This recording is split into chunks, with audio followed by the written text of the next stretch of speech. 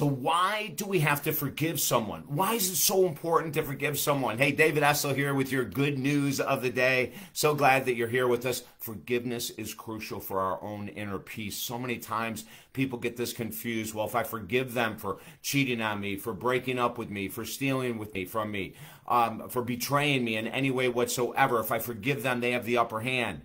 It couldn't be further from the truth. Most people who have hurt us have moved on. They could care less. They're in a new life, new relationship, new career, whatever they're doing. They don't care about you.